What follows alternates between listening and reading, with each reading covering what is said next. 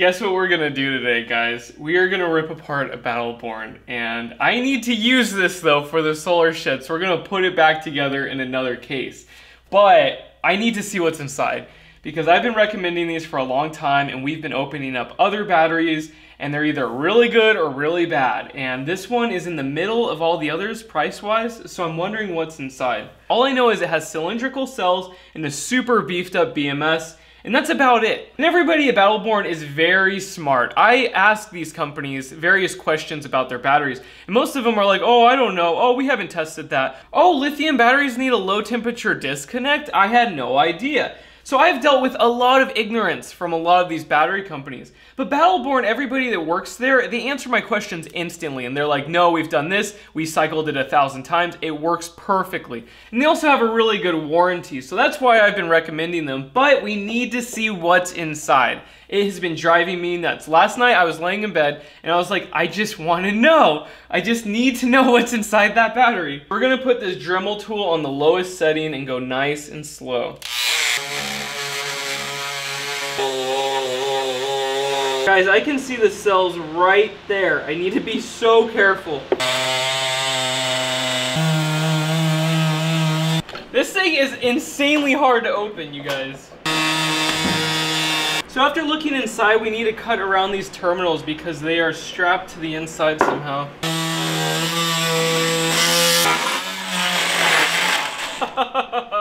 and this, ladies and gentlemen, is the inside of a Battle Born battery. So first we have a positive and we have a negative. The negative is connected to the BMS, and this is a battery management system. And then this is connected to the negative bus bar of the cells. And we have four parallel packs in series underneath the BMS. And this will create a 12 volt battery pack with lithium iron phosphate chemistry. And then this BMS is also controlled and balances the cells with these balanced leads. So if one of the cell packs goes too low, it will disconnect power from the loads by using the BMS disconnect. So you can think of the BMS as a large switch. And there's a small temperature sensor on top of the cells that you can see, and that controls the BMS if it's too cold or even too hot. And what's interesting is there's only one temperature sensor. I actually thought they would have multiple, but I don't see any others. And on the inside, the number on the cell tells us it's a 26650, so it's larger than the traditional 18650 that's in the older Teslas or inside of lithium battery packs for your laptop. And there's a model number on the battery, but I can't find it on Alibaba or anywhere else. I do know that it's their proprietary cell and they go to their own manufacturer and they also check them and match the cells. So that's like their own cell inside. I was really thinking I was gonna find it on Alibaba, but I can't. I just searched all over for it.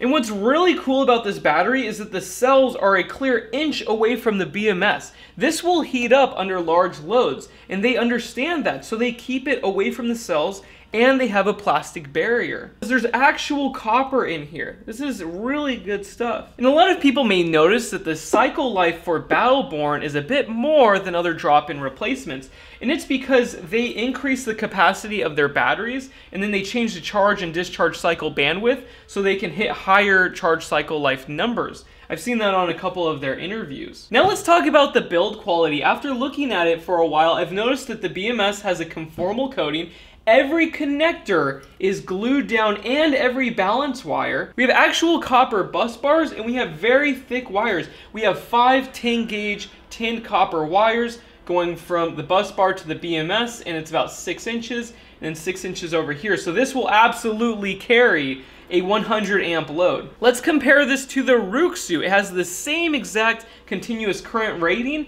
but you only have four 14 gauge wires.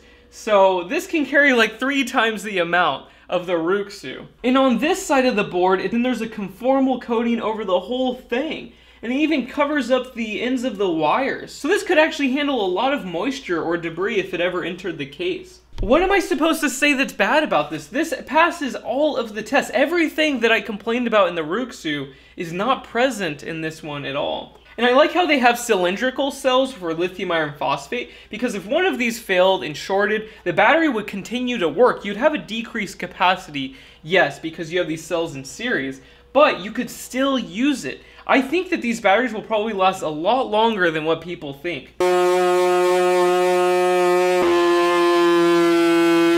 Can't open it.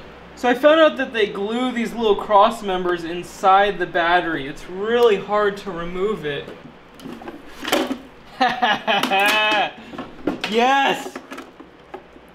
So they use this crazy sponge foam inside. It's really weird feeling. Here it is, a Battle Born, the cells. We made it. So these packs are spot welded to nickel plates, and then they're just touching each other, and then they're bolted on the top. See, the plates are bolted together, but they can move.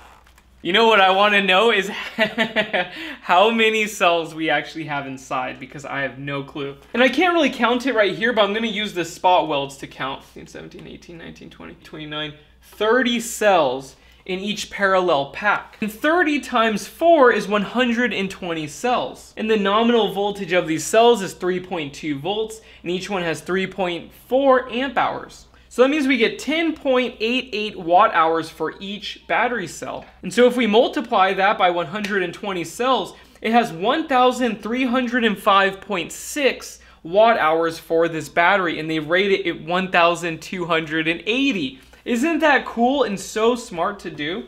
And you can tell that it's the true capacity just based off of the weight alone. With the Lion Energy, we weighed it and we said, okay, at the energy density of lithium iron phosphate, it's physically impossible to reach the numbers that they were advertising. But with Battle Born, they overshoot the capacity so that they know that everybody will always have that capacity and they'll have an improved charge cycle life which is so cool. Guys, look at this thing. And let's look at the side of the battery. So we have a nickel plate, then we have a copper bus bar that attaches to the terminal. Just considering the design, I bet this could handle a lot more amps than what it's advertised for, but it's limited by the BMS. But you could probably crank like 200 or 300 amps out of this battery pack which I kind of want to do. Maybe we should hook up a really powerful BMS and see what happens. You know what's great is I can actually recommend it. Okay, finally we have a good battery, jeez. I was actually scared that we would find something bad, and we didn't. Everything looks good.